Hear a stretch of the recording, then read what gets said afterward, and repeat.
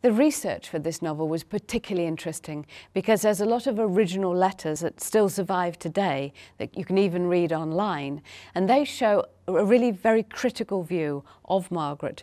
A lot of people were reporting on her to her brother Henry, King of England, and they were saying that she was failing to keep her side of the peace treaty or that she was dealing independently with France or that she was betraying Henry's interests in Scotland.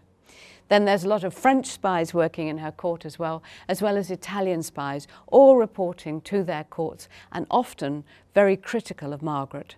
They're critical for a number of reasons, partly because she's a woman in power at a time where women in power are not welcomed, where they're not considered to be fit to govern and partly because she is a very unreliable ally. In order to stay in power, she has to change sides very often, and she does this. She's also bribed by foreign powers, and she'll also really do anything that will get her son on the throne of Scotland.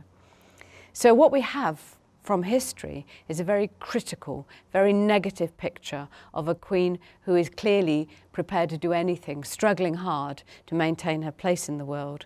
And the Victorian historians who are the great writers of Tudor history, take a very dim view of women like that in general and of Margaret in particular.